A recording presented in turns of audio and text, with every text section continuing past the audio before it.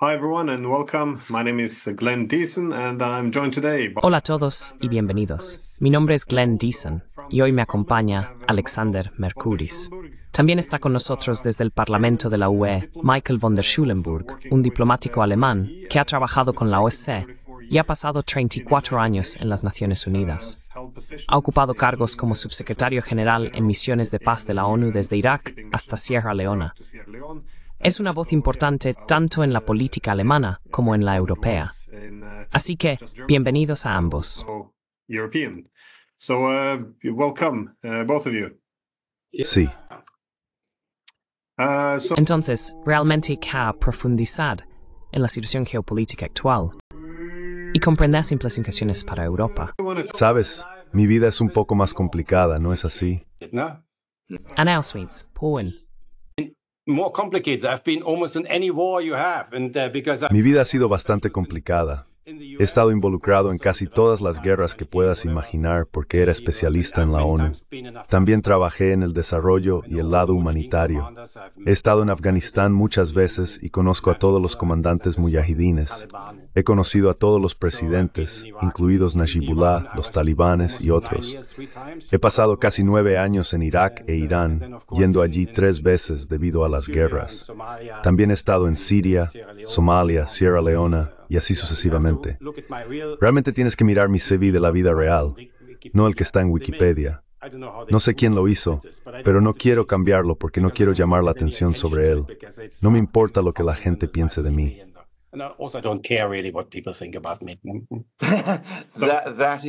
Eso no es raro que muchas personas lo digan sobre Wikipedia, por cierto.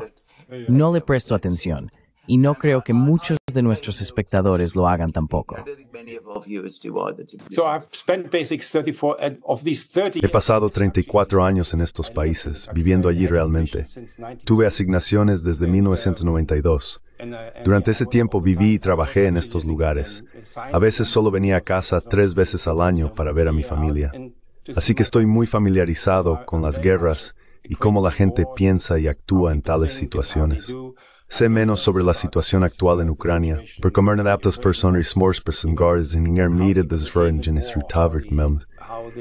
Es más similar entre Ucrania e Irán que entre sin Ucrania.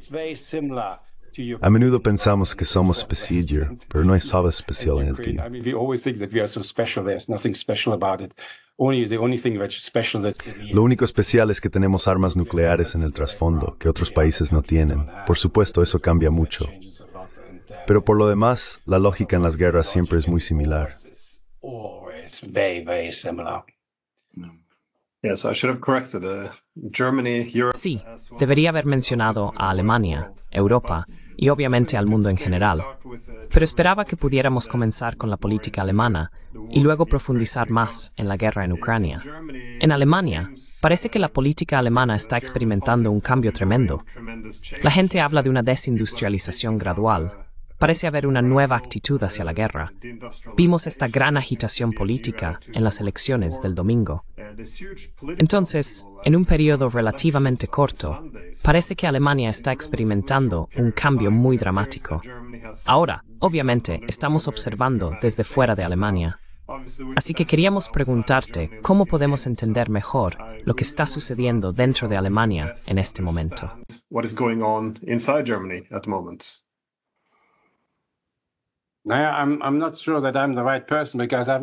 No estoy seguro de ser la persona adecuada porque no he vivido en Alemania desde 1978.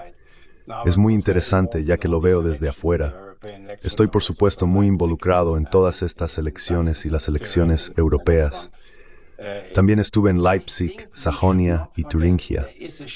Creo que no debemos olvidar que hay un cambio en Alemania hacia las negociaciones y no entregar armas a países en guerra. Countries at war. En la política tradicional que habíamos seguido, Schulz de alguna manera la revirtió y dijo que hay una nueva era y ahora tenemos que enviar armas a países en guerra. Creo que esto ahora va a ser cuestionado. Aproximadamente el 68% de los alemanes piensa de esta manera, en diferentes niveles, por supuesto. Curiosamente, en Sajonia, la mayoría de los que votan por la CDU, el Partido Conservador y el FDP también están en contra de la guerra. Están especialmente en contra del estacionamiento de misiles de medio alcance. Esto se ha convertido en una de las mayores prioridades en la guerra.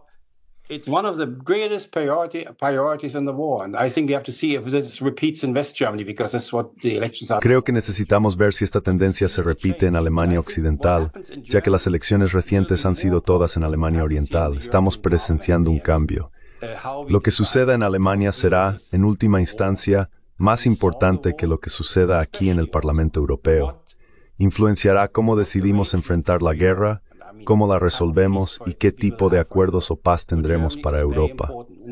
Alemania juega un papel crucial en esto. En este contexto, dos partidos en un diferente. El AfD, que tiene una acción pro paz. No oponemos a la AfD por muchas otras razones. We are opposed to the AfD because of many other things. But on this one, it's pero en este tema de la paz, no nos alinearemos con ellos. Ofrecemos a la gente una alternativa porque en muchos países europeos, si la gente está en contra de la guerra, siente que tiene que votar por la derecha. En este sentido, está ocurriendo algo nuevo aquí que creo se repetirá en otros países. Los socialdemócratas, en la mayoría de los países, se han movido tanto hacia una agenda de guerra que ahora hay una apertura para otro tipo de partido de izquierda. Este partido puede ser conservador de izquierda, como lo llamamos, más abierto, permanente vinculando la guerra con la justicia social. But basically uh, linking the war also to social justice. And I think that's very, very important. If this is successful, Creo que eso es muy importante.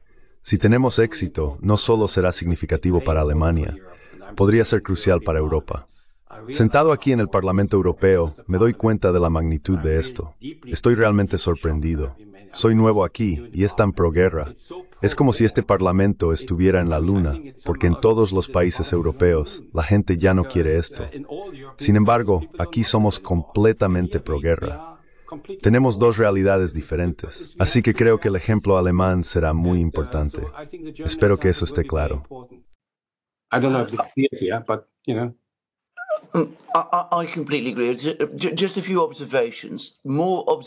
Estoy completamente de acuerdo.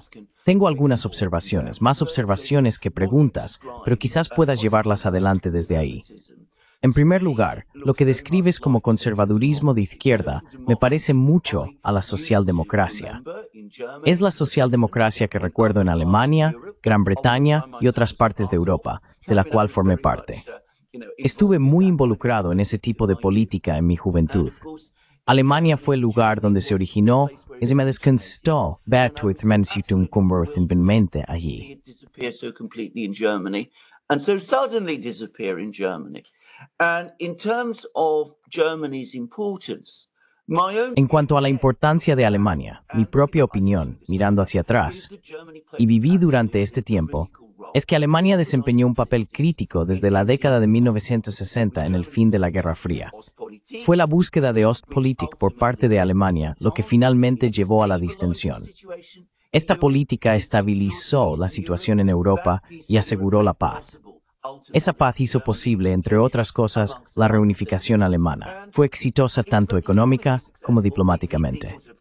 El tipo de socialdemocracia, que incluso la SUDIU practicaba en cierta medida, aseguró la paz en Europa. También importante en la comunidad económica europea. eventually evolved into the EU. I do not understand. I cannot comprehend how Germany, which No puedo comprender cómo Alemania, que tuvo tanto éxito en estabilizar la situación en Europa, de repente se revirtió por completo en los últimos años. Estoy desconcertado por lo que le ha pasado al Partido Verde, los Grüne. Los recuerdo como opositores a la militarización en Alemania. Tenían todo tipo de ideas. Ahora son el partido proguerra atlanticista más extremo. No entiendo cómo ocurrió esta transformación. Para mí, la llegada de Sarah Wagenknecht y el movimiento Wagenknecht es un regreso a lo que siempre entendí que Alemania representaba. What is what I was understood Germany to be about, and of course the And, you know, IFA. Alexander, if I can interrupt you, Alexander, si puedo interrumpirte, lo que vemos en estas elecciones es que el electorado alemán es sensible a estos temas. Solo tenemos seis meses como partido y ya somos el tercer partido más grande en las dos elecciones estatales en las que participamos. Es un gran éxito. Hay una demanda de personas que no quieren seguir la política actual. Pero ves, Alexander, las cosas cambiarán rápidamente. Veremos que la guerra en Ucrania empeorará, especialmente para la OTAN. Y, por supuesto, tristemente también empeorará para los ucranianos, porque son ellos los que están siendo traicionados aquí en Europa. También empeorará para Alemania. La economía está en declive y pretendemos que no tiene nada que ver con la guerra, pero por supuesto tiene todo que ver con la guerra. I mean, all these sanctions, which Todas estas sanciones nos afectan más a nosotros que a los rusos.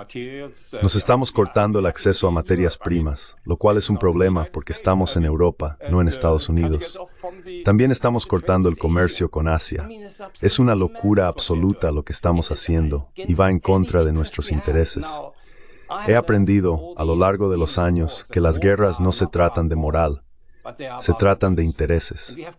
Hemos olvidado completamente esto. Estamos tan consumidos con nuestros argumentos morales sobre defender la democracia y proteger a las madres y los niños en la guerra. Estas cosas están sucediendo en los lados. And uh, Necesitamos pensar en cuáles son nuestros intereses. Cuando me uní al Parlamento por primera vez, Europa tenía la oportunidad de definir su propia política sin depender de los estadounidenses. Estados Unidos esencialmente se ha distanciado de la guerra en Ucrania. Hemos visto esto antes con cómo manejaron las situaciones en Afganistán e Irak.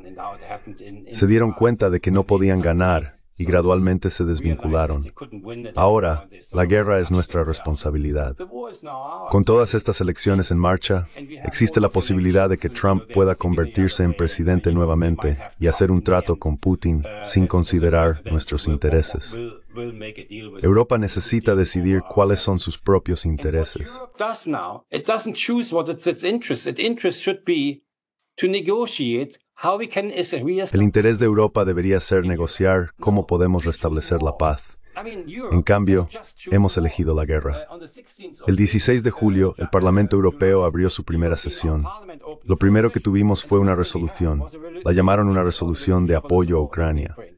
Solo tuvimos un día para votar sobre ella. No pude votar ni hablar sobre ella. Se apresuró. Era un documento de 3.5 páginas que decía que tenemos que apoyar a Ucrania hasta que derrote militarmente a Rusia. Esto es dos años y medio después de que comenzó la guerra, a pesar de que Ucrania no puede ganar la guerra. Sin embargo, decimos que debería ganar la guerra. Can't win the war. man. Here we say it should win the war. Decimos que deberíamos darle a Ucrania 127 mil millones de dólares en equipo militar cada año. Esto es tanto como les hemos dado hasta ahora. Ucrania apenas tiene gente o soldados restantes. No sucederá. También decimos que todas nuestras armas occidentales podrían usarse ahora en territorio ruso. No se podría decir nada peor. Al mismo tiempo afirmamos que Ucrania debería convertirse en miembro de la OTAN y de la Unión Europea. Sedeli. El Parlamento Europeo arrestó una resolución que no puede escrupir passed a resolution which has objectives which we can't fulfill. I mean, such an unrealistic thing. is- Un enfoque tan poco realista es muy peligroso porque solo es provocativo. Ya no tenemos medios para cambiar el curso de la guerra en Europa.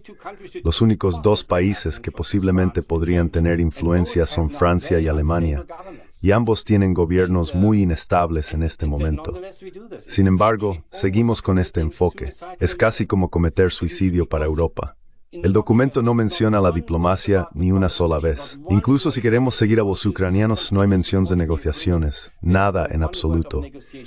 Orbán ha sido tratado muy mal, acusado de traicionar a Europa y todo demás. Creemos que ha hecho lo correcto, pero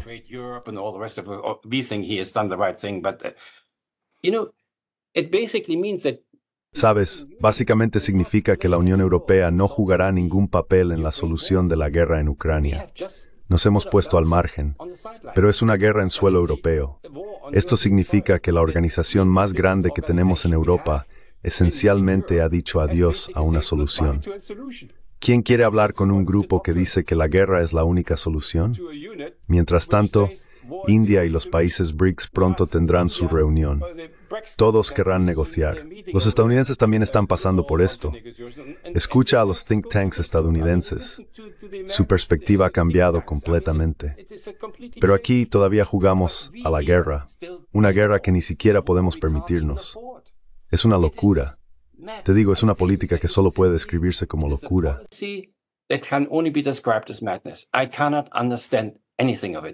No puedo entender nada de esto. Espero mucho, ya sabes, solo somos seis personas aquí en el Parlamento.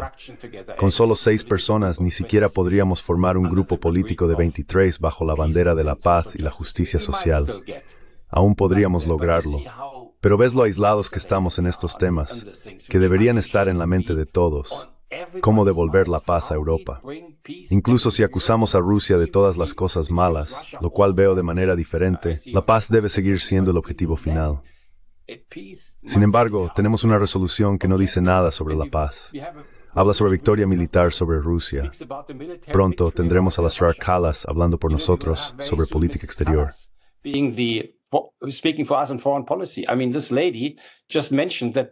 Quiero decir, esta señora acaba de mencionar que preferiría que Rusia se dividiera en pequeños estados y que no deberíamos tener miedo de las armas nucleares rusas al decidir nuestro apoyo a Ucrania. Esto es una locura absoluta. En Europa hemos pasado por dos guerras mundiales. Deberíamos saberlo mejor. Alexander, creo que estoy presenciando una locura colectiva y no puedo llamarlo de otra manera. Desafortunadamente, no se nos permite hablar aquí porque somos demasiado pequeños. Tienes que tener una sea. Por eso publico estos artículos. Escribí el único artículo en alemán sobre esta resolución.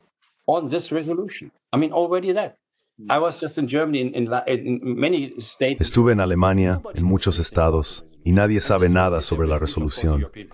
Esta resolución, aunque el Parlamento Europeo puede que no sea muy importante, implica a burócratas en la Unión Europea, como von der Leyen y otros, duplicando el presupuesto en gasto militar. Estamos militarizando la Unión Europea y no será bien recibido. Estoy realmente sorprendido. He visto muchas guerras en mi vida y no puedo creer que en Europa tengamos un lenguaje tan belicoso. Ni siquiera vi esto durante la guerra Irak-Irán. Hicimos muchas negociaciones entonces y podíamos hablar con ellos. Aquí es básicamente imposible. Es una locura total.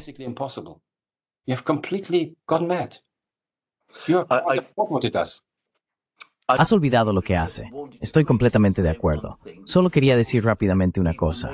La gente a menudo hace una distinción entre Alemania del Este y Alemania del Oeste. Sí, la política es diferente, pero conozco bastante bien Alemania Occidental. Recientemente estuve en Renania y hablé con una muestra representativa de personas allí, tanto jóvenes como mayores.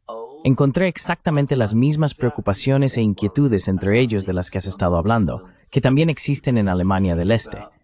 Tal vez la expresión política sea diferente. Tal vez no voten por el AfD, por ejemplo, porque hay razones por las que no querrían votar por el AfD allí. Sin embargo, creo que estarían mucho más abiertos a ello.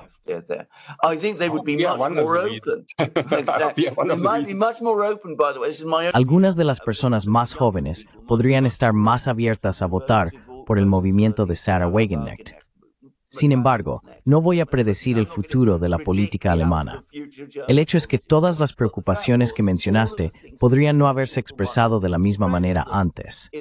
Pero encontré preocupación, inquietud y temor sobre el estado de la economía, así como miedos sobre la guerra y un conflicto mayor.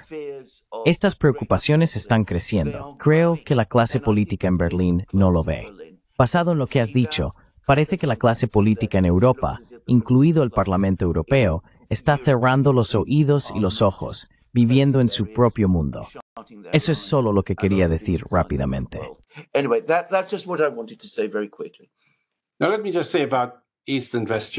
Ahora, permítanme decir algo sobre Alemania del Este y del Oeste.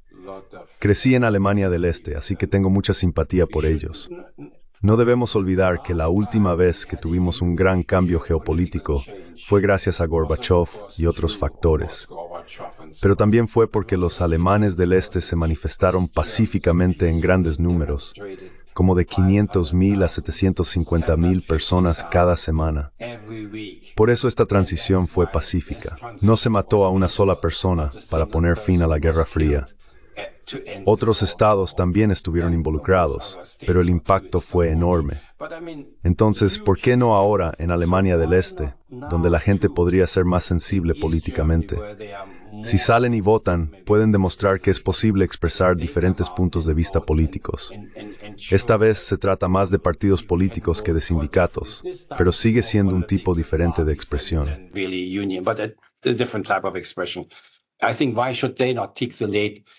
Creo que, ¿por qué no deberían tomar la iniciativa? Y creo que los alemanes occidentales deberían seguir. Es más difícil allí.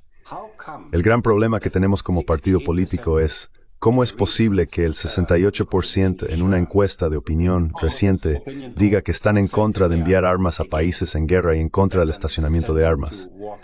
Esto es algo muy peligroso, estos misiles de alcance medio.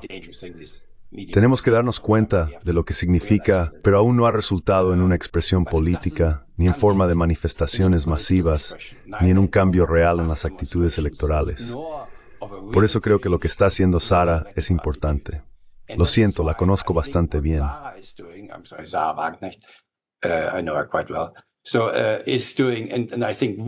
Sara está haciendo un trabajo valiente y creo que es una mujer muy valiente porque ha sido tratada mal. Afortunadamente el otro día el hombre no tenía una pistola en la mano. Ella ofrece una alternativa, lo cual es muy difícil, porque en la mayoría de los lugares ni siquiera tenemos una organización política todavía. Tampoco tenemos dinero porque como partido nuevo tienes que pagar todo de tu propio bolsillo. El único que recibe dinero es el sexto aquí en el Parlamento. Pero esto es realmente en lo que tenemos centrarnos en el futuro. No lo sé.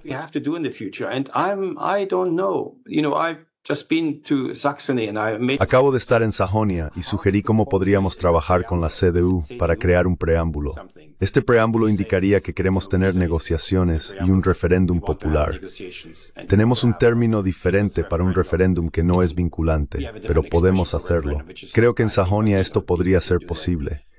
Esto significa colaborar con la CDU. Si queremos paz, tenemos que involucrarnos con otros partidos. Veo muy pocas posibilidades, especialmente con el SPD, lo cual me rompe el corazón porque es un partido por el que siempre he votado. Realmente no puedo verlo en su veo.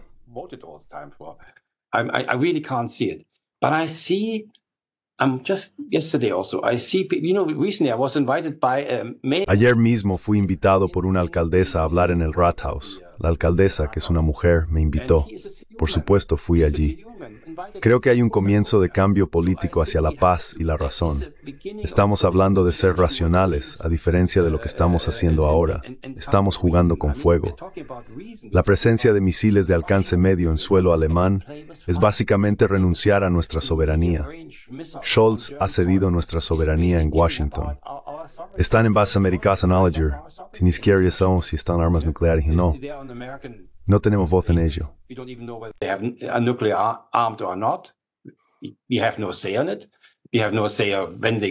No tenemos voz en cuándo se lanzan o contra quién. Tal vez los disparen a China más tarde. No lo sé. Creo que están usando nuestro territorio como su campo de batalla, lo cual es muy conveniente para ellos porque está al otro lado del Atlántico. Tenemos que detener eso. Tenemos que detener eso.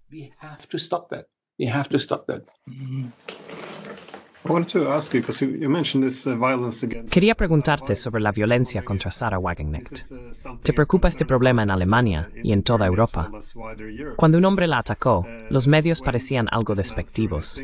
No pude evitar notar algunas comparaciones. En Gran Bretaña, cosas similares le suceden a Farage, y los medios casi se burlan de ello.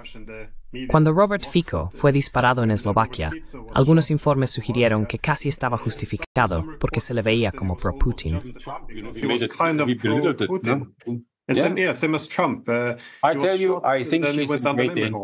Sí, es similar a Trump. Creo que ella está en gran peligro porque el partido está tan dominado por su personalidad. Esto es una ventaja por ahora, pero también la convierte en un objetivo principal. Espero que el Estado la proteja, porque sería un desastre si algo le sucediera. ¿No sería así?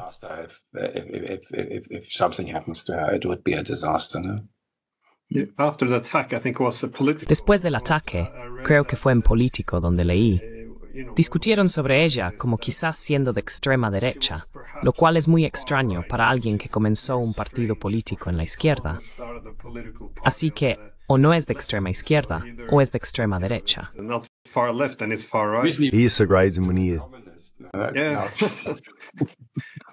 Sí, me preocupa porque en contraste, si tienes violencia como la que ocurrió el 6 de enero en los Estados Unidos, casi se convierte en un evento nacional.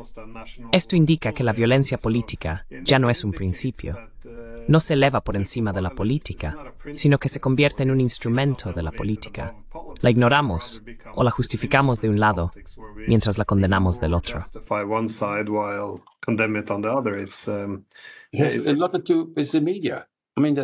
Sí, hay mucho que ver con los medios. Hay mucho discurso de odio y acusaciones increíbles, como llamarnos rojo marrón. Ni siquiera sé qué significa eso. Pero este tipo de cosas suceden. Ni siquiera conocemos la identidad de la persona que la atacó. Aparentemente hablaban un idioma de Europa del Este. Ella está en gran peligro y esperamos que el Estado lo tome en serio. Sin embargo, el Estado actualmente la ve como una de sus principales enemigas, porque le quita votos a sus partidos.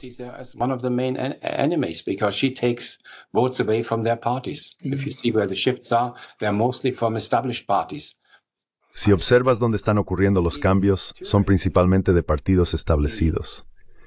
Creo que en Turingia nuestro partido ha ayudado a evitar una mayoría para Höcke, quiero decir para la AfD. En Sajonia no tanto, pero creo que en Turingia lo hicimos. Muchas personas están insatisfechas y aquellos que votan por la AfD lo hacen por esta insatisfacción, no porque de repente sean fascistas o algo así. Ahora tienen una alternativa. Si estos votos hubieran ido al otro lado debido a toda la desinformación, tendríamos al señor Huck como el primer ministro de un estado en Alemania. ¿Qué mensaje enviaría eso al mundo? Así que deberían estar muy contentos de que estemos aquí.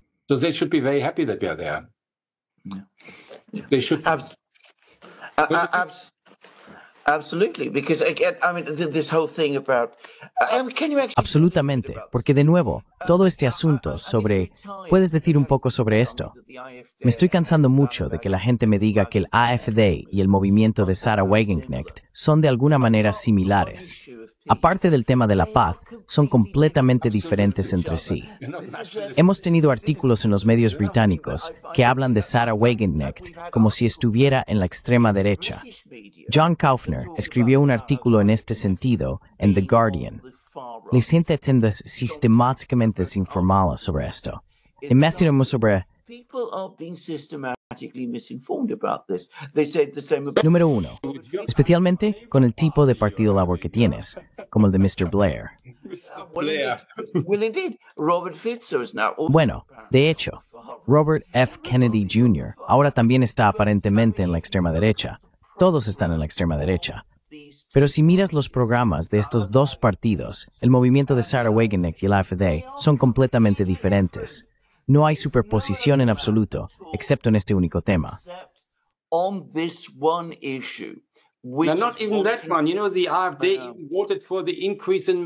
Ni siquiera en ese caso.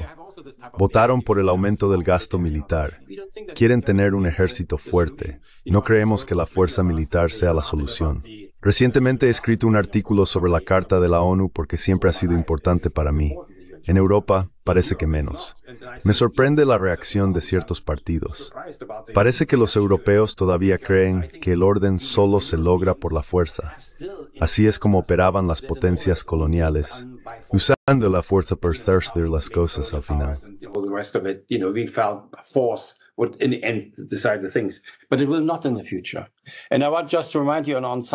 Pero no será así en el futuro. quiero recordarte algo que sucederá el próximo mes en Rusia. Los países BRICS se reunirán allí y el presidente de esta reunión será el señor Putin. El hecho de que estos países hayan elegido ir a Rusia, a pesar de la guerra en curso, en lugar de a un lugar como Singapur, dice mucho. Representan el 45% de la población mundial y controlan el 37% del PIB global. Europa representa un poco más del 5% de la población mundial. En like kerken sin po. Alltså det här till att nå kan bara ta once det är min There's increasing. There's 30 countries now have applied also to become member. And now comes the if Bloomberg is right, and I know that Turks a little bit. Y ahora, si Bloomberg tiene razón, los turcos han solicitado convertirse en miembros. Esto significa que por primera vez, un país de la OTAN, un país europeo de la OTAN, porque Turquía está parcialmente en Europa, se une a estos países. Los turcos solían querer ser parte de la Unión Europea, pero ahora nos ven como en declive. Se están uniendo a algo que creen que tiene futuro. No son tontos. A menudo etiquetamos a quienes no están de acuerdo con nosotros como tontos, pero ese no es el caso aquí. Creo que este movimiento de Turquía es extremadamente importante. ¿En qué periódicos alemanes vemos esto? Ninguno. Lo siento, ¿dónde está mi teléfono? Tengo un teléfono fijo aquí. I have a telephone here, a landline. Creo que tienes razón sobre Turquía. Recientemente Putin visitó Mongolia, que es signataria de la CPI. Nos molestó porque no fue arrestado. Sin embargo, esto también muestra que el poder se está desplazando hacia el este.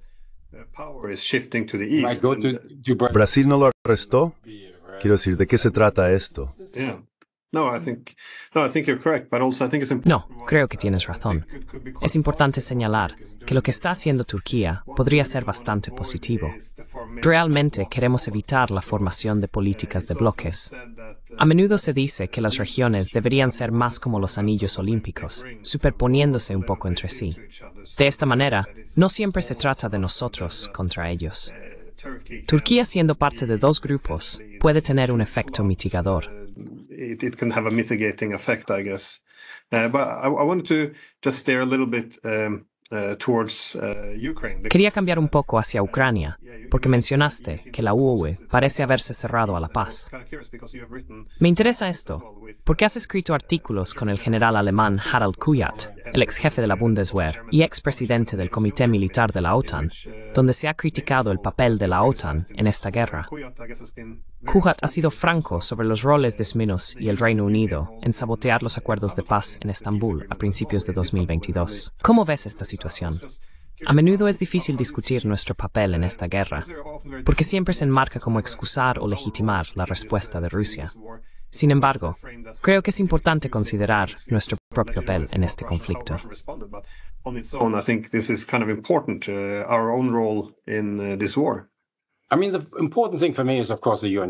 Lo importante para mí es la Carta de la ONU. Cuando hablamos de las acciones de Rusia, a las que nos referimos en alemán como Völkerrechte, es decir, una guerra de agresión ilegal, nos referimos a la Carta de la ONU. A menudo mencionamos el derecho a la autodefensa, que es el artículo 51. Sin embargo, la Carta tiene 50 artículos antes de eso, y tendemos a pasarlos por alto. Si lees todos estos artículos, el artículo 51 aparece de manera muy diferente. Creo que lo que nos hace cómplices en la guerra es que deberíamos haber negociado las preocupaciones de seguridad de Rusia. Estamos obligados por la Carta de la ONU a buscar una solución negociada en cualquier conflicto, y nos negamos a hacerlo. Esto significa que somos parte de esta guerra. No podemos simplemente decir que es culpa de un solo lado. Esto es muy importante.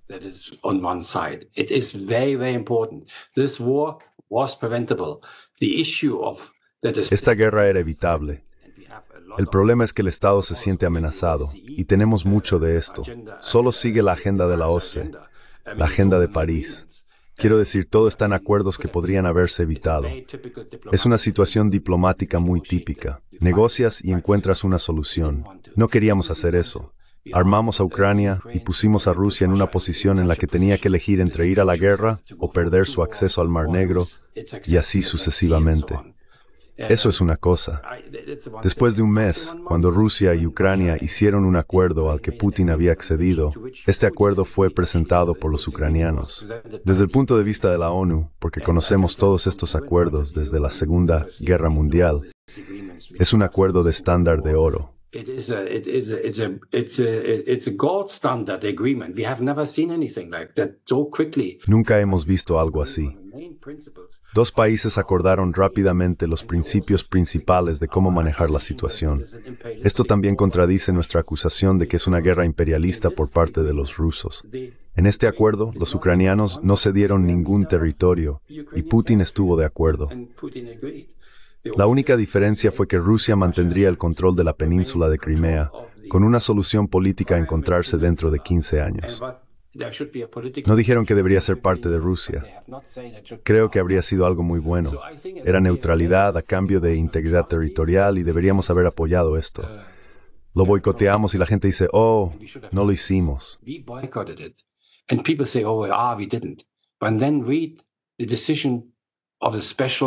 Pero luego lea la decisión de la cumbre especial de la OTAN en Bruselas el 24 de marzo, a la que asistió Biden. Declararon que no apoyarían una solución negociada con Rusia hasta que Rusia se retirara primero. Esto significaría que Rusia no podría participar en negociaciones. No sería neutral y convertiría a Ucrania en un estado de la OTAN, lo cual es inaceptable para Rusia. Luego, por supuesto, estuvo la visita de Johnson a Kiev, donde les dijo que si firmaban algo con Rusia, perderían todo el apoyo.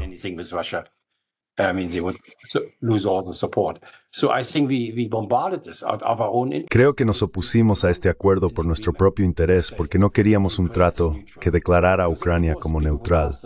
La gente entonces preguntaría por qué no estuvimos de acuerdo en esto antes. ¿Por qué no negociamos antes? ¿Por qué Rusia fue a la guerra por esto? De repente justificaría las acciones de Rusia. Así que no podíamos estar de acuerdo con esto. Pero ahora tenemos esta guerra. Desde al menos abril de 2022, está claro que Occidente es responsable de continuar el conflicto y se aplica Carta de la ONU. No puede ignorar el resto. Pero eso es lo que está sucediendo.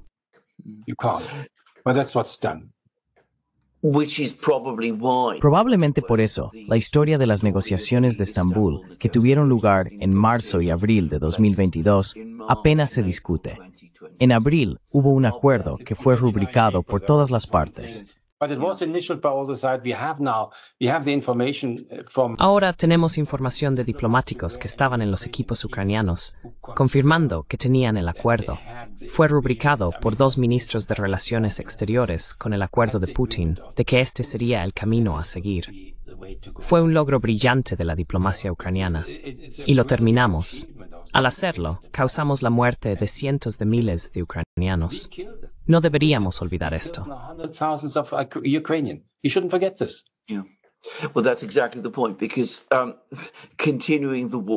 Bueno, ese es exactamente el punto, porque continuar la guerra no está ayudando a Ucrania.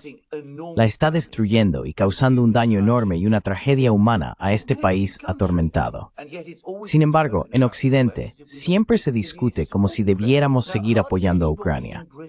Casi nadie en Gran Bretaña sabe lo que sucedió en marzo y abril de 2022 o sobre el papel que jugó Boris Johnson. El London Times y el Financial Times lo informaron en su momento, pero todo eso ahora ha sido olvidado. Apenas se habla de ello.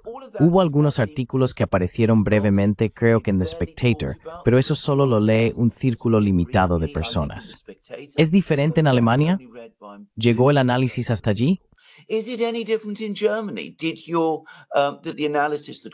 La primera persona que escribió sobre eso fue en realidad alguien que conozco. Sí. E incluso copiamos los 10 puntos que me enviaron.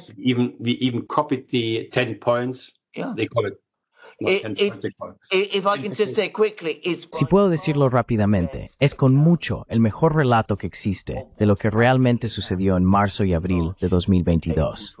Lo expusiste todo y proporcionaste una cronología. Está todo ahí.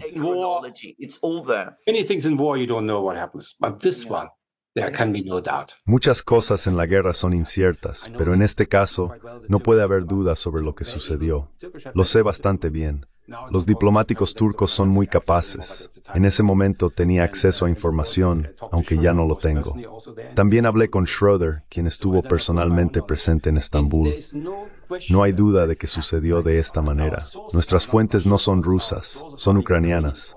Un día los ucranianos nos acusarán amargamente de boicotear esta solución. Abrin está en. Lo que muchos no saben es que de membresía Ucrania en la UE, B. to support EU membership of the Ukraine. I mean, who knows it? Well, that's the point. That's the, the Bueno, ese es el punto. Esa es la pregunta que hago. ¿Han avanzado en términos de la opinión pública alemana? ¿La gente en Alemania sabe lo que se perdió en Estambul? Lost in Istanbul. What was I think almost thanks to achieved us, in more Istanbul. people know it in German than Creo que gracias a nosotros, más personas en Alemania saben sobre esto que en Moscú. Francia, hasta donde sé, tiene muy poca conciencia, e Italia también. El Reino Unido, por supuesto, es un país guerrero. Parece que hay una preferencia por la guerra. Lo mismo ocurre con los Países Bajos. Mi esposa es holandesa, y allí no hay un movimiento por la paz. No hay nada en los periódicos al respecto.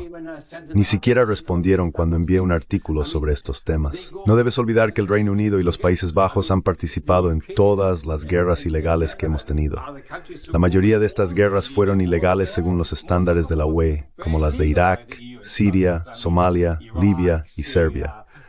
Hubo tal vez 251 intervenciones militares por parte de los estadounidenses, con los británicos participando en casi todas ellas. On virtually all, the British participated.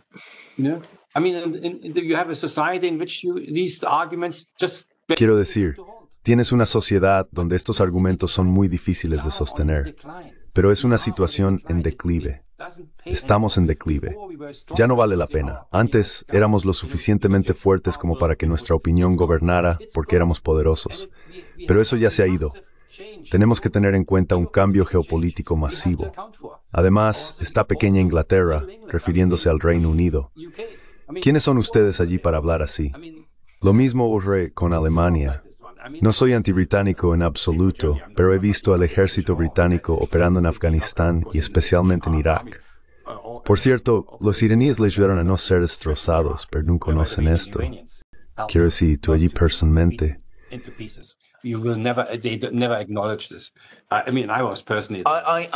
Gnafta sa Oritanics can hablar that you.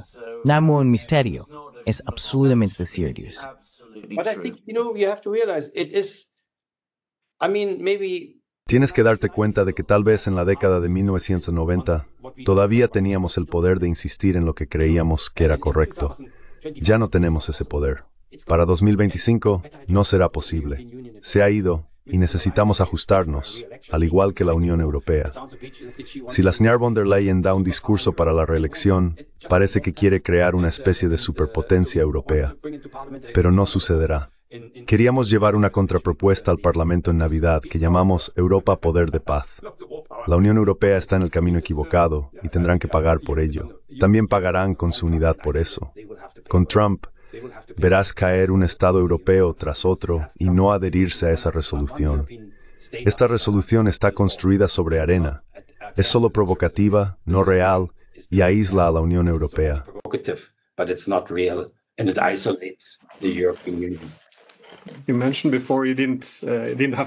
Mencionaste antes que no tenías que depender de fuentes rusas. Yo iría más allá y diría que podemos usar fuentes ucranianas. Como he señalado muchas veces, el primer día después de la invasión rusa, el propio Zelensky, según lo publicado en los sitios web del gobierno de Ucrania, declaró que fueron contactados por los rusos. Los rusos querían hablar sobre la neutralidad y los ucranianos aceptaron sin condiciones previas.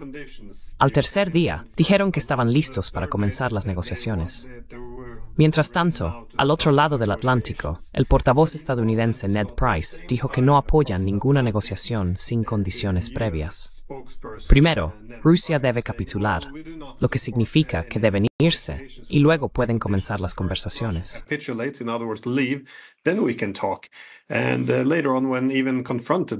Cuando se enfrentó a la pregunta de si los ucranianos negociarían con los rusos, la respuesta fue que esta guerra es más grande que solo Rusia y Ucrania. Se trata de un juego mucho mayor. Más tarde, mediadores israelíes y turcos confirmaron que las negociaciones fueron saboteadas.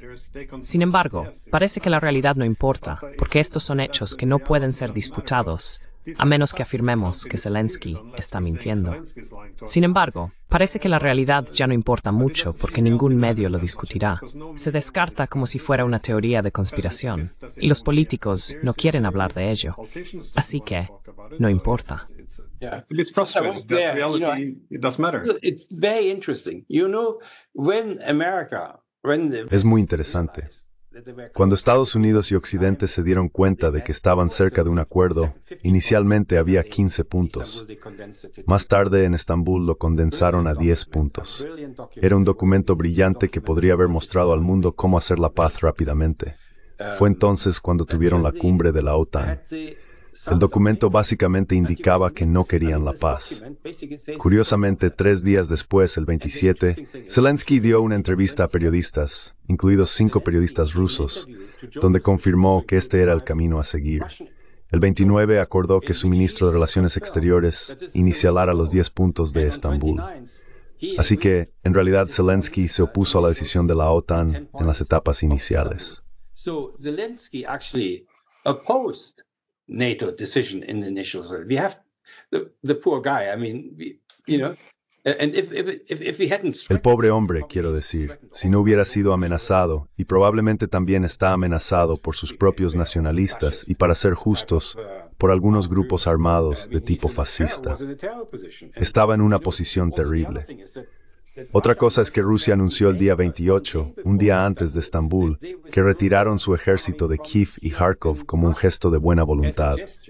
Esto tenía la intención de fomentar la firma del acuerdo porque estaba muy cerca de suceder. Dicen los porque fueron derrotados, pero no fueron derrotados, eran fuertes. Entonces, ¿cuál es la verdad de toda la situación? And then, of course, comes this butcher thing. We, who knows what the truth is about the whole thing? But one thing is true: Una cosa es cierta, no detuvieron las negociaciones. Las negociaciones de paz o de alto el fuego están destinadas a prevenir conflictos, no a detenerlos. El argumento que tenemos en Occidente no tiene sentido. Creo que está ocurriendo mucho y la historia puede no estar de acuerdo con cómo lo vemos. ¿Puedo añadir una cosa más? Siempre he vivido en la comunidad internacional. No debemos olvidar que esta perspectiva se encuentra principalmente en los países de Europa Occidental y ni siquiera tanto en los Estados Unidos ya. No es compartida por el 90% del resto del mundo. Quizás esté Marcos en Filipinas, pero eso es todo.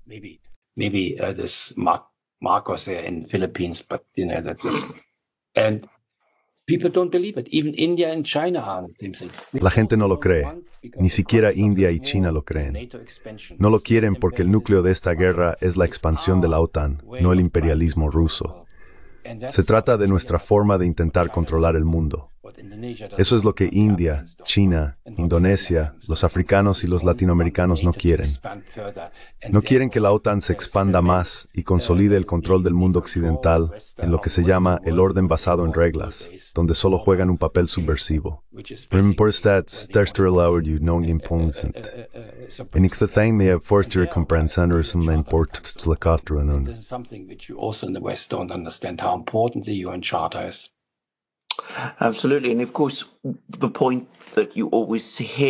Absolutamente.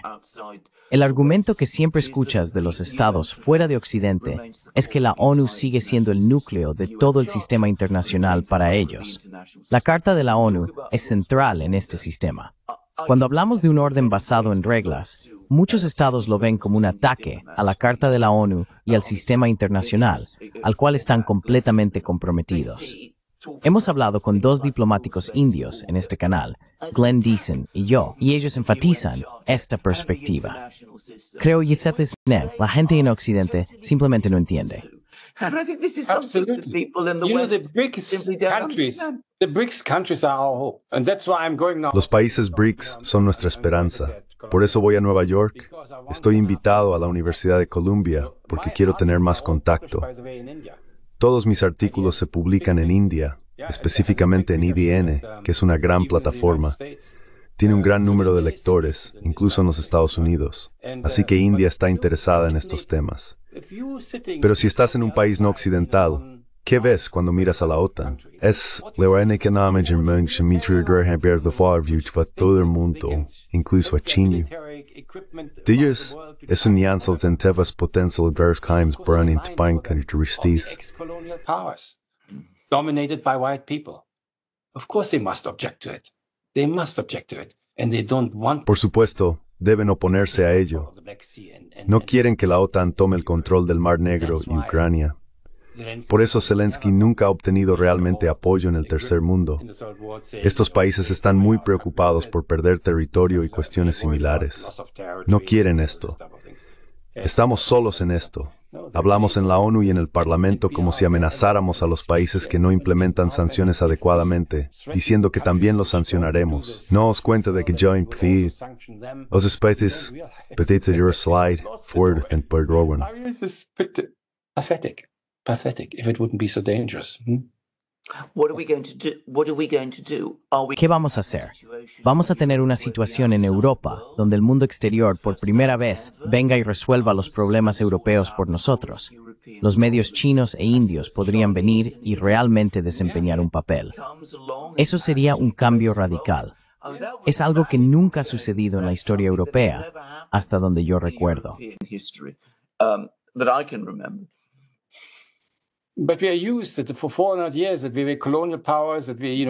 Nos hemos acostumbrado durante 400 años a ser potencias coloniales. Lo justificamos con el cristianismo, afirmando que llevamos civilización y democracia. Así es como nos ven. Estamos acabados si no nos adaptamos en Europa y pagaremos un precio muy alto. No se puede tener una política que ignore la realidad. Hay un dicho en inglés, la política es el arte de lo posible. Si tienes líderes como la Schrar von der Leyen, ella es una soñadora y de hecho una peligrosa. Sus ideas están más igual que. ¿Cómo esperan ganar la guerra allí? No lo sé. It's beyond any reality. How do they want to win the war there? I mean, I don't know. But it's interesting that uh, when Es interesante que cuando vas a un lugar como India y te preguntas por qué no están apoyando nuestras políticas, la suposición siempre es que no tienen los hechos correctos o que han sido influenciados por la propaganda. Sin embargo, estoy en la televisión india una o dos veces por semana y notas que hay más espacio para una discusión real allí. Toma Nord Stream, por ejemplo. Estados Unidos ahora está tratando de culpar a los ucranianos por ello. Lo fascinante es que con esta nueva historia de América afirman que sabían sobre el ataque e intentaron prevenirlo antes de que sucediera.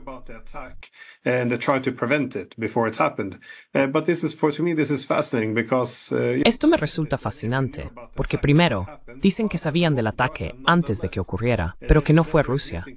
Luego, admiten al mundo que cuando dijeron que probablemente fueron los rusos los responsables, mintieron.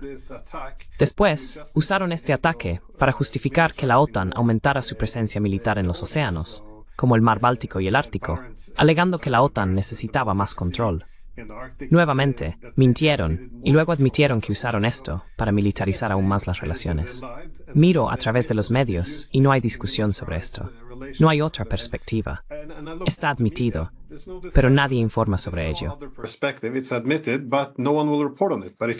En India y China, pueden discutir estos temas de manera más abierta. Parece que hay más capacidad para interactuar en un means violent. within the real world, I guess. Y- You know, the interesting thing is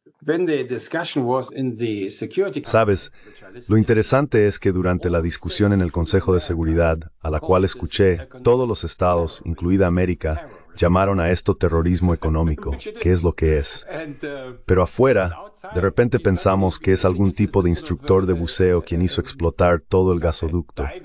Quiero decir, es ridículo. Todo esto es absurdo. Lo importante en las noticias cuando lees este artículo del Wall Street Journal es que acusan a Zelensky de haberlo sabido de antemano. Los acusan a ambos. Zelensky And Scholz of having known it before. They accuse them both. And you know, this is very serious because if Scholz Y sabes, esto es muy serio, porque si Scholz lo sabía de antemano y no hizo nada, eso es traición. Realmente podría ser procesado por esto. Su trabajo como primer ministro es defender los intereses alemanes. Si no actúa, es cómplice, y esto es muy grave. Lo que encuentro interesante es que durante la cumbre de la OTAN en Washington, lo más importante dicho al margen fue que Alemania ahora tiene que tomar la iniciativa en el tema de Ucrania y apoyar a Zelensky.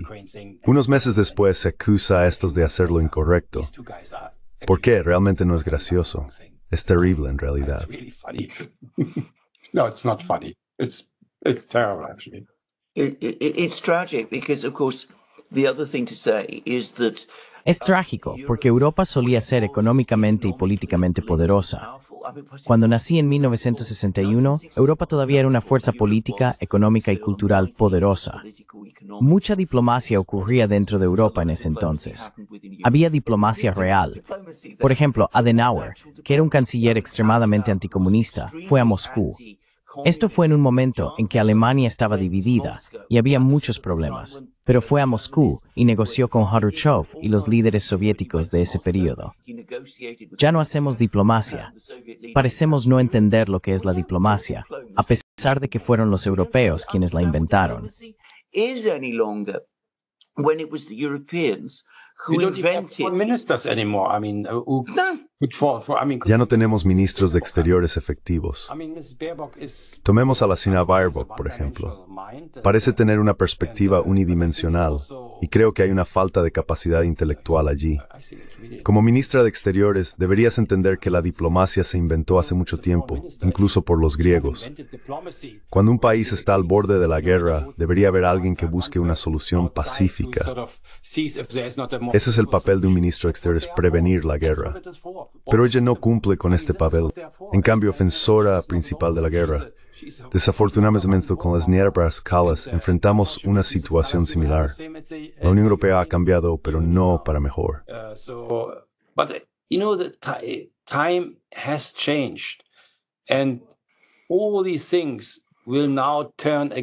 Y todas estas cosas ahora se volverán en nuestra contra. No podremos usar tal actitud para influir las cosas a nuestro favor. Eso se acabó. El gran perdedor de esta guerra es, por supuesto, Ucrania. Pero el segundo perdedor es Europa, y ya es el perdedor. Eso está muy claro. ¿Puedes imaginarte a Ucrania uniéndose ahora a la Unión Europea? El primer país en protestar sería Polonia, ¿verdad?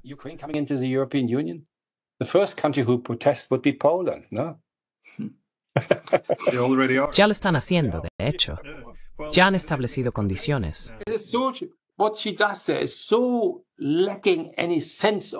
Lo que ella está haciendo carece de cualquier sentido de realidad. Nos costará una fortuna porque tendremos que pagar por una Ucrania colapsada.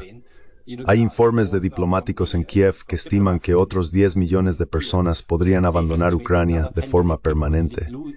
Esto dejaría a Ucrania con solo un tercio de su población desde la época de la independencia.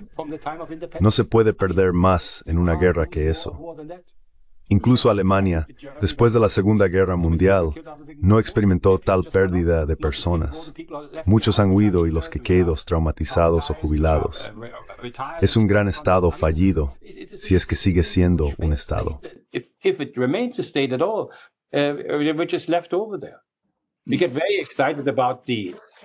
Nos emocionamos mucho con las partes orientales, como la anexión. Pero permíteme decir también esto.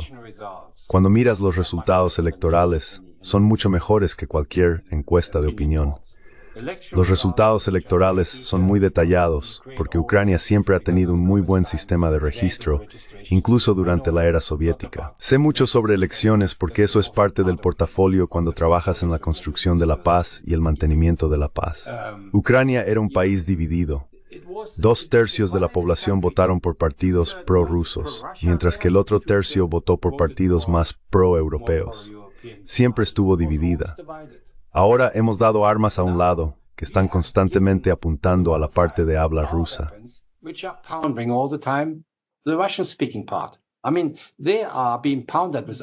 Quiero decir, están siendo golpeados con nuestras armas. Siempre pretendemos que Rusia es la única que causa destrucción, pero nosotros también enviamos armas.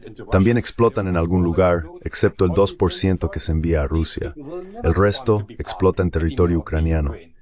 Estas personas nunca querrán ser parte de Ucrania. No pueden.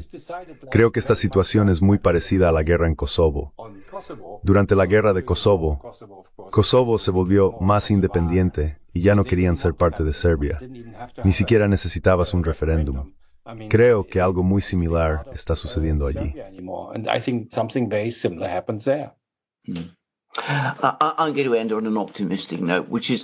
Voy a terminar con una nota optimista. Creo que una de las razones por las que estas resoluciones del Parlamento Europeo parecen completamente poco realistas es porque están perdiendo el contacto con el sentimiento general en Europa. Hemos visto esto en Alemania con los resultados electorales. Lo presencié yo mismo cuando estuve en Alemania hace unas semanas en Renania, hablando con la gente allí. Estaban extremadamente descontentos. La gente planteaba sus preocupaciones e inquietudes por su cuenta. No estaba allí para discutir política. Fue una visita social, pero expresaron lo preocupados y descontentos que estaban. También hemos tenido elecciones en Gran Bretaña, y el aspecto más interesante fue que los partidos tradicionales experimentaron un descenso significativo en su apoyo. Hubo un efecto desigual, porque el apoyo de un partido disminuyó menos que el del otro. Creo que el Partido Laborista fue votado por solo el 20% del electorado. Absolutamente, exactamente. Es similar a su sistema electoral como en Francia, ¿no es así?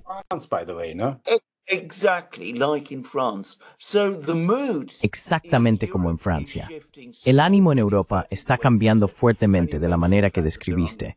Mencionaste que no hay protestas ni manifestaciones. En mi opinión, no es que no existan, es porque las estructuras políticas que solían canalizar estas protestas ya no están allí. Con el tiempo, se asimilaron al sistema. Lo que estamos empezando a ver ahora en Alemania, hasta cierto punto en Gran Bretaña y tal vez eventualmente en Francia, es que están surgiendo nuevas estructuras políticas. Estas nuevas estructuras van a empezar a ocupar su lugar.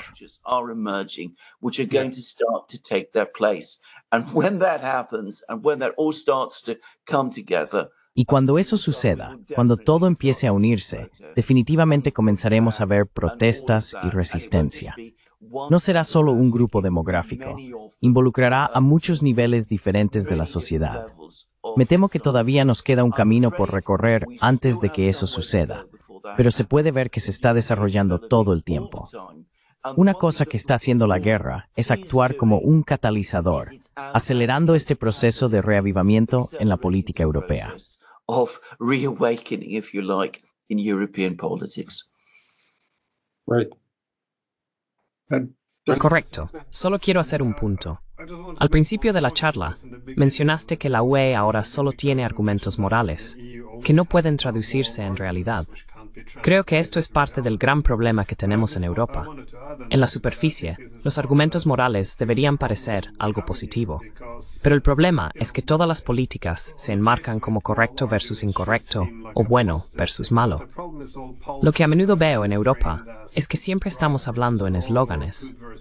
Usamos eslóganes con los que todos están de acuerdo o conceptos porque todos estamos a favor de la paz. Todos queremos estar a favor de Europa. Todos queremos estar a favor de Ucrania. Todos estamos de acuerdo con esto.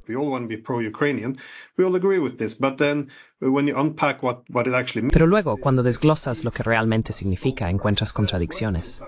Por ejemplo, la paz como dice Stoltenberg, significa que las armas son el camino hacia la paz. Ser proeuropeo significa que Europa debe integrarse en una alianza militar, lo que vuelve a dividir y remilitariza Europa, haciéndonos menos prósperos y menos seguros. Lo más importante, ser proeuropeo significa que los dos países europeos más grandes, Alemania y Rusia, no deben integrarse económicamente. Vemos lo mismo con ser pro-ucraniano. Preguntamos, ¿qué significa ser pro-ucraniano? Significa impulsar a la OTAN sobre Ucrania, incluso cuando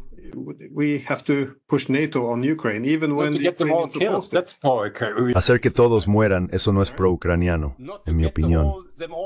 Lo siento, quise decir no hacer que todos mueran. Sí, bueno, eso sería pro-ucraniano. Así es como lo definiría. Está yendo de mal en peor. ¿Por qué debería morir la gente por una guerra que está perdida? Les damos armas y es como tener peleas de perros en los viejos tiempos. Ya están ensangrentados y seguimos lanzándoles algo de carne para que continúen luchando. Eso es lo que estamos haciendo. Mientras tanto, todos estos parlamentarios que deciden aquí reciben 350 euros cada día solo por estar aquí. euros for just being here, yeah, just for being here. You know. Sí, solo por estar aquí. Sabes, la persona promedio en Ucrania que va al ejército y se queda allí no recibirá ni siquiera 100 al mes. Y aquí decidimos que esta guerra tiene que continuar. Increíble, increíble. Pero déjame decir algo sobre la moral porque hice muchas de estas negociaciones. Hay un dicho que en las negociaciones si una parte habla sobre la moral, esa parte quiere guerra. Y si la parte comienza a hablar sobre intereses, busca una solución. Whereas is Forever means swimming out this Gara refuse. It seeks a solution. Remind us, it's true probably for all the wars, also for this one. Mhm. You? Yeah, no, I think like it a lot. it's- It reminds me. It reminds me ¿Te of gusta? Me gusta mucho. say, Me recuerda a algo que los abogados, especialmente los litigantes, siempre dicen. Mi formación es en derecho y litigación, y hay un dicho, cualquiera que hable de luchar por principios en un caso legal es un tonto y va a perder. Es una regla de hierro, y lo he visto suceder una y otra vez. Es un hecho. And I've seen this play out time and time again. It's a fact. Sí, está bien, muy bien. Supongo que este es un buen lugar para terminar. Finished off. So I, I publish quite a lot, and you know, I'm, I'm, I'm and Publico bastante y a veces es muy difícil transmitir el mensaje. También escribo en inglés y hay muy pocas personas que tienen esta perspectiva sobre las guerras en la capital de Europa. Espero que se difunda. Incluso pueden omitir mi nombre, no me importa eso. Pero la gente necesita darse cuenta de que lo que Europa está haciendo actualmente es autodestruirse.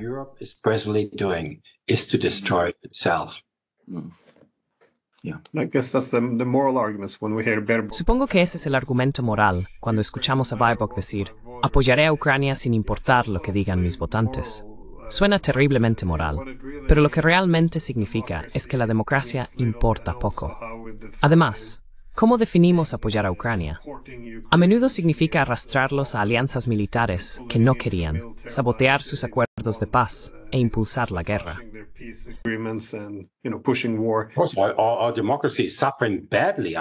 ¿Están las democracias sufriendo gravemente bajo esta guerra? Ya estaban luchando antes. Mira lo difícil que es publicar algo en alemán o conseguir que esta noticia salga en la radio. Necesitamos personas como tú. Las emisoras de radio públicas, incluida la BBC, no cubrirían este tipo de cosas.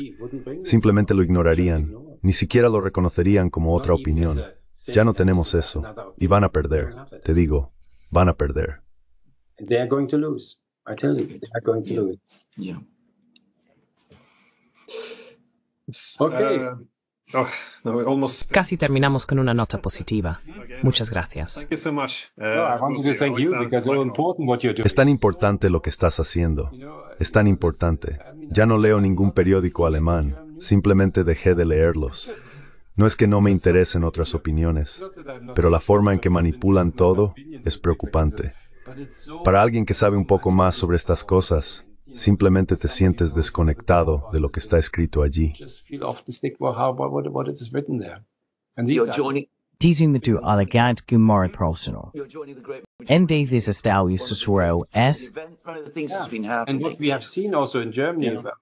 everywhere, is of course Lo que hemos visto en Alemania y probablemente en todas partes es la aparición de canales de noticias paralelos y periódicos en varias plataformas.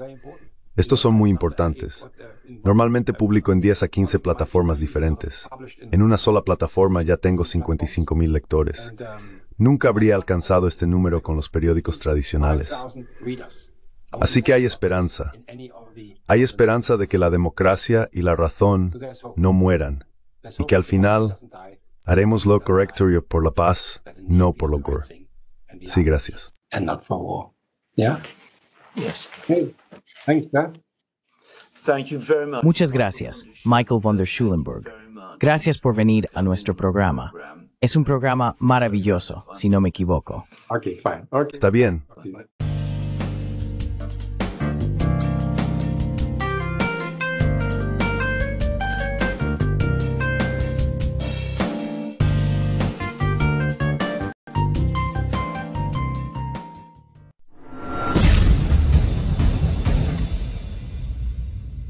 Si valoras nuestras traducciones, por favor considera apoyarnos en Patreon.